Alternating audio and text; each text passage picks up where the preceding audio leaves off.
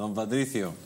Eh, ¿Cómo desde Argentina empieza a mover todo ese movimiento hispanista, empieza a tener reflejo en defensa de, su cultura, del legado español, de sus raíces, sobre todo ante una situación tan crítica cuando llegan los Kirchner a Argentina. Usted hablaba antes del Día de la Hispanidad, eh, ellos lo cambian directamente, empiezan a decir que es el Día del, del indígena. De la diversidad cultural. De la diversidad cultural, ¿no? Eh, es curioso, ¿no? no voy a meter lo que hizo Argentina al principio del siglo XX, pero es curioso que, gente que tiene totalmente sus orígenes en, eh, europeos, a la mayor parte, pues empiecen a renegar de su cultura y de sus raíces, ¿no? Sí, mira, además Argentina tiene una fuerte tradición de defensa de la hispanidad e incluso, te diría, en todo el arco ideológico.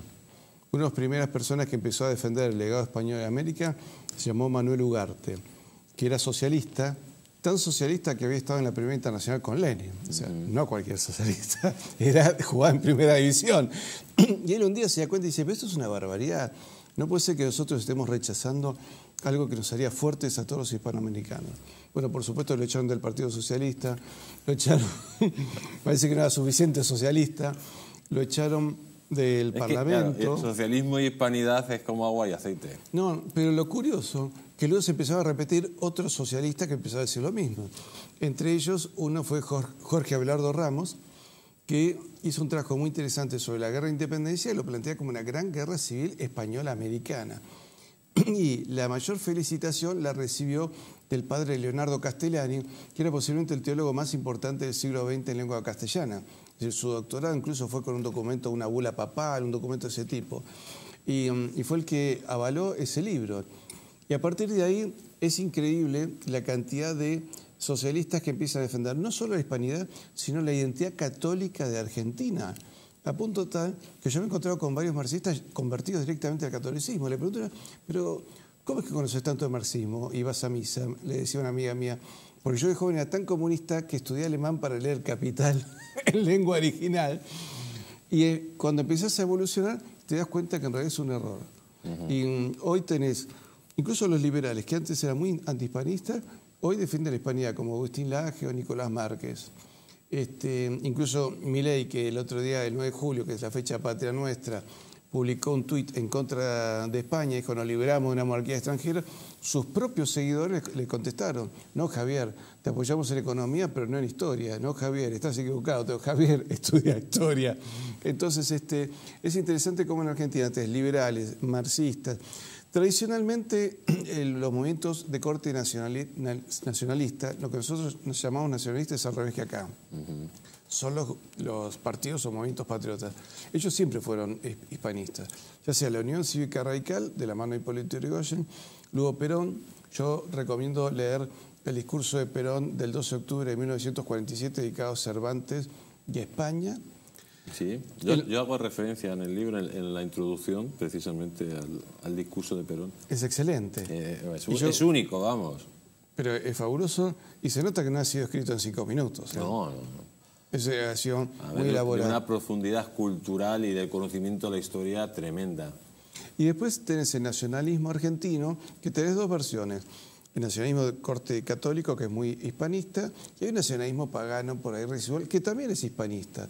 Es decir, confluyen todas las ideologías en este tema. Menos este indigenismo trasnochado, donde te encontrás con una dirigente indigenista de apellido Bukolorovsky.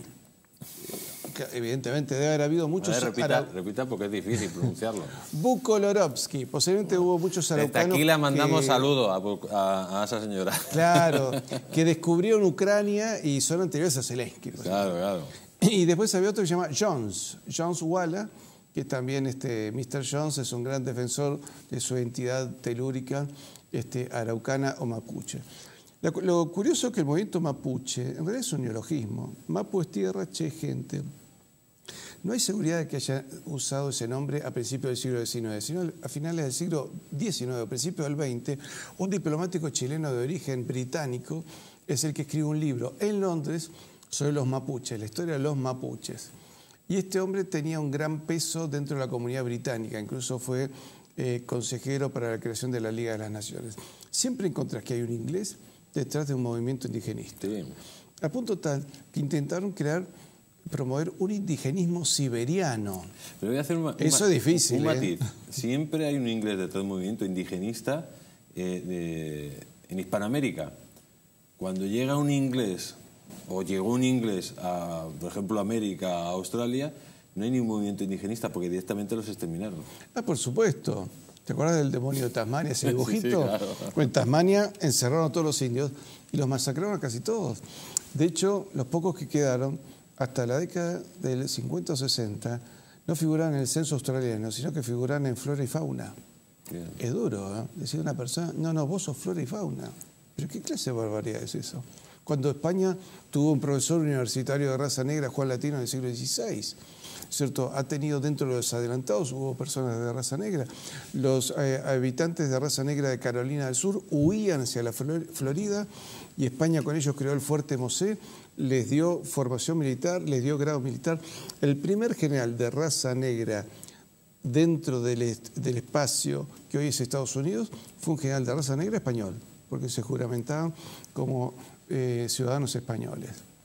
Así que la historia es muy diferente. Mira, si los ingleses, con los ingleses no se salvó más que Pocahontas de casualidad. ¿eh? Bueno, Pocahontas seguro que, la, seguro que la mataron. Y luego tuvieron que revivirlo a Disney con esa gran mentira de historia de amor. Pero yo quería preguntarle también, me ha comentado usted sobre ese movimiento hispanista que sobre todo que es muy fuerte en Perú. Cuéntanos. En Perú, mira, yo este, hasta traje unas fotos. Es impresionante cómo los jóvenes... A ver si no lo ponen los compañeros mientras habla, las fotos del movimiento hispanista en Perú. Sí, vos sabés que eh, los movimientos de oposición al gobierno, los jóvenes se han hecho escudos tipo romano, pero con la Cruz de Borgoña. Y a su vez... Ahí, tenemos las imágenes. Fíjate, ahí tenés la Cruz de Borgoña, a la izquierda una variante de la Cruz de Borgoña y la bandera del Perú, porque además la bandera del Perú es una modificación de la Cruz de Borgoña. Es decir, la bandera del Perú es austracista. La bandera argentina es borbónica, sí. es cierto? Acuérdate que cuando a Miguel de Unamuno le preguntan en las Cortes Españolas eh, de la República que querían cambiar la bandera, Unamuno dice, no, la bandera roja igual es la bandera tradicional de España. Si ustedes quieren buscar la bandera de la monarquía española, esa es la bandera argentina. Lo cual es cierto, vos ves el, ese cuadro famoso de Goya que tiene toda la, franja azul y blanca y decís, bueno, este, están todos con la bandera argentina. Pero en Perú es cada vez más fuerte.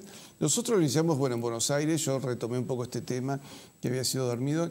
Había grandes historiadores, uno Julio González que escribió La involución hispanoamericana y demuestra la destrucción económica de América en beneficio de los ingleses. Retomé ese tema, investigué mucho sobre el Real de A8 y la moneda española y bueno, empezó a tener repercusiones en Uruguay, en Chile, en Perú, en Colombia, un poco en México y también en Estados Unidos. Así que bueno, hoy vemos este cruce de Borgoña en todos lados y en Buenos Aires cada, vez se ven más en las manifestaciones, la fábrica de bandera cada vez venden más cruces de, Borgoña. y todo eso gracias a la gran labor que hace usted. Yo fui uno y después, bueno, se han sumado un montón de jóvenes youtubers, porque a mí me llama la atención donde he tenido más penetración ha sido en adolescentes, que no me lo imaginaba. Pero chicos de 15, 16 años parándome en la calle queriendo sacarse una selfie, una sorpresa.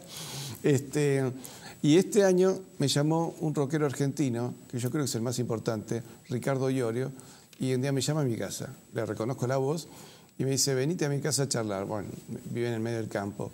Y me dice, la muralla de la mentira, ese gran dique de la mentira llamado leyenda negra, ya sufrió una fisura.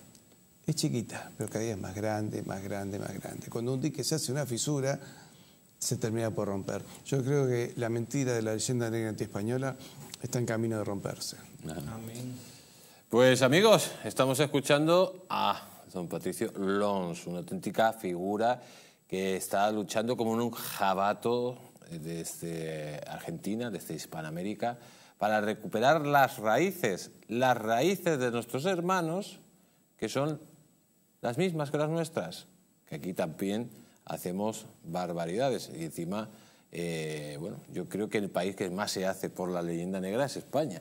Ah, sí, acá trabaja mucho para desprestigiar a España. a mí me sorprende muchísimo. Es increíble, ¿no? Es increíble. Yo quiero, perdóname Jesús, cerrar con algo. El tema de los hispanistas argentinos estamos haciendo toda esta difusión de la verdad histórica, lo hacemos por una fuerte pasión argentina.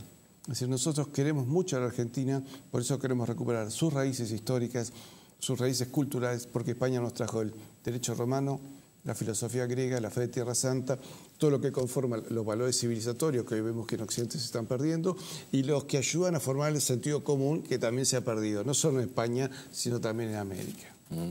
Pues yo, amigos, quiero, como sé que, que tarda mucho correos en Argentina y no funciona muy bien, le quiero regalar a don Patricio pues mi nuevo libro, Cuando éramos invencibles dos, dueños del mundo, la gran gesta usurpada a España, y espero que le guste, porque además hay un capítulo especial de Argentina, que es esa ah, gran gesta que hicieron los tercios españoles junto a Linier en la defensa de Buenos Aires contra 30.000 soldados británicos casacas rojas y 20, 200 eh, barcos que fueron humillados y derrotados, al igual que fueron derrotados en Cartagena de India por don Blas de Lezo. Así sí. Te aclaro que además nuestros soldados en Malvinas en 1982 cantaban canciones militares españolas, lo cual parece ser que unos ingleses escucharon, creyeron que estaba la legión y se retiraron, y nuestros pilotos también este, cantaban las típicas canciones militares españolas. Y los pilotos de la Fuerza Aérea consideran que la guerra de Malvinas fue la última carga de caballería hispánica. Así que espero algún día ver flamear el pabellón español en Gibraltar y nuevamente la azul celeste y blanca en las Islas Malvinas. Pues amigos, si la hispanidad se une, si todos los hermanos unimos, hay que recordar que el PIB de todos los países unidos es mayor incluso que el de los Estados Unidos. ¿Qué es lo que quieren los anglosajones? Pues que nos estemos pegando, que haya tiparracos como Chenique, como Pablo Iglesias, que creen la cizaña, el odio y el rencor, o tiparracos como Boris, como Castillo, como Petro, y eh, como Lula, en toda Hispanoamérica, pues lógicamente que creen el odio y la dispersión. No la multiculturalidad, que esa ya la creen los españoles, no, no, no. El odio entre las diferentes capas sociales y diferentes razas. Don Patricio Alons, muchísimas gracias por haber estado aquí en el Mundo al Rojo y por haber venido aquí a la Madre Patria. Muchas gracias. Bueno, invito a la gente a que conozca también mi canal YouTube que lleva mi nombre, ¿no? Historia con Patricio Alons. Y bueno, a colaborar entre todos los que hablamos español para reivindicar aquel legado que nos hace más fuertes. Y el 12 de octubre, a ver si puede entrar usted por, por Sky en el programa. Cómo no. Muchas gracias.